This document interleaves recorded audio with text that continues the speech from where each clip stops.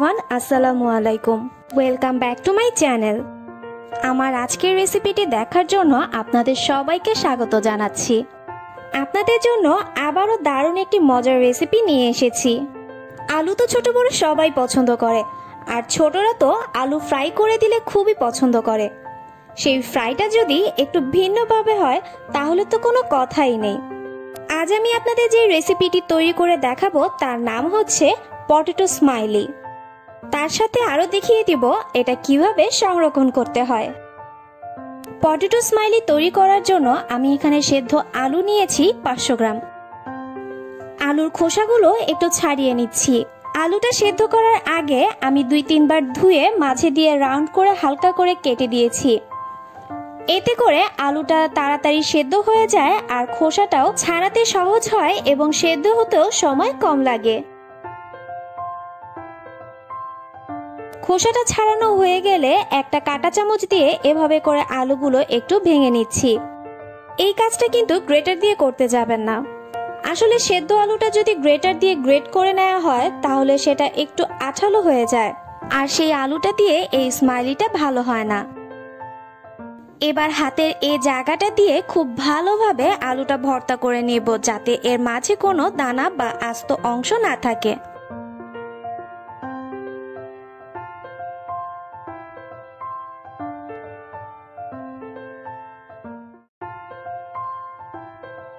এবার এতে এক এক করে সব উপকরণগুলো দিয়ে দিব। দিয়ে দিচ্ছি bread crumb one fourth cup এই বেড ক্রামটা আমি বাসাতেই তৈরি করে নিয়েছি। কর্নফ্লাওয়ার দিয়ে দিচ্ছি ওয়ান ফোর্থ কাপ আজ কিন্তু আমাকে সাহায্য করছে আমাদের ছোট্ট শেফ। তো এবার লবণ দিয়ে দিচ্ছি স্বাদ মতো। টেস্টিং সল্ট হাফ চা চামচ মরিচের গুঁড়া এক চা চামচ বাজারে যে ম্যাজিক মশলাটা পাওয়া যায়, সেটা দিয়ে দিয়েছি দুই প্যাকেট।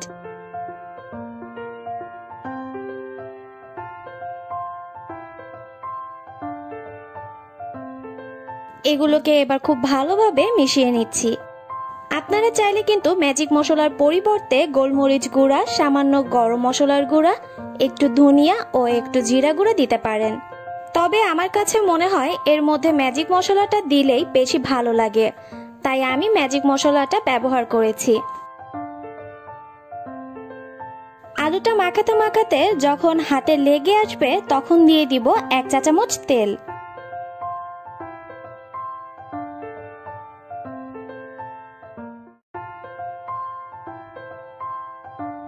আলুটা যখন হাত থেকে ছেড়ে আসবে, তখন বুঝবেন এটা মাখানো হয়ে গেছে।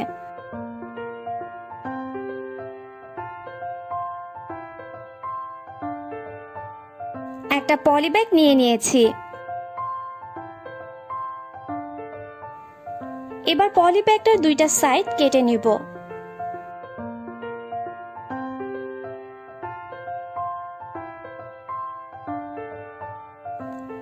এখন এতে খুবই সামান্য তেল দিয়ে ভালোভাবে মাখিয়ে নিব। এবার আলুর যে ডোটা তৈরি করে রেখেছিলাম, সেখান থেকে কিছুটা ডো নিয়ে এখানে হাত দিয়ে একটু চেপে বড় করে নিচ্ছি, যাতে চারপাশটা ফেটে না যায় আর বেলতেও যেন সুবিধা হয়। বাড়তি যে পলিটা সাইডে আছে, সেটা এই ডোয়ের ওপর এনে রুটি বেলার মতো একটু মোটামুটি মোটা রেখে বেলে নিব।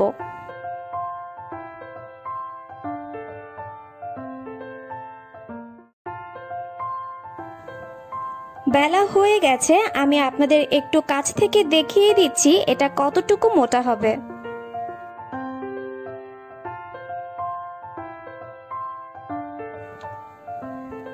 এবার এটাকে যে কোনো বোতলের ঢাকনা বা কুকি কাটার দিয়ে এমন ছোট ছোট রাউন্ড করে কেটে নিব।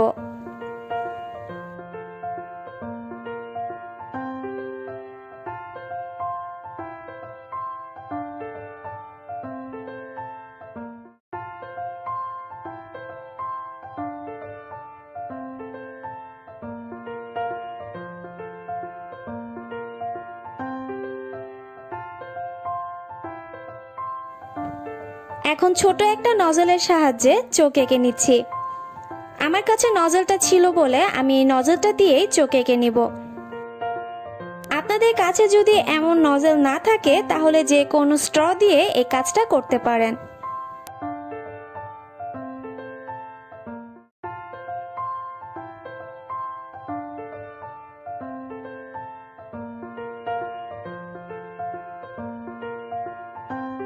একটা চামচের সাহায্যে এভাবে করে স্মাইল এঁকে দিচ্ছি।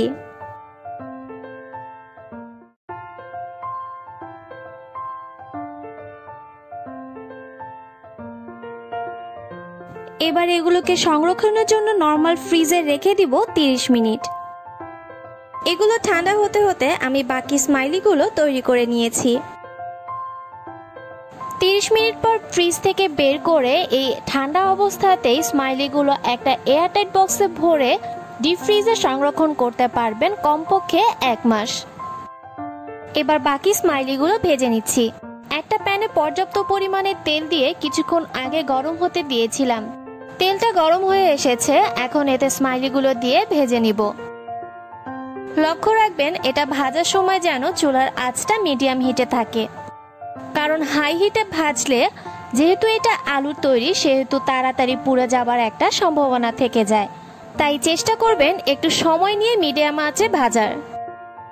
ভাজার মাঝে মাঝে একটু প্রয়োজন মতো উল্টে পাল্টে দিতে হবে।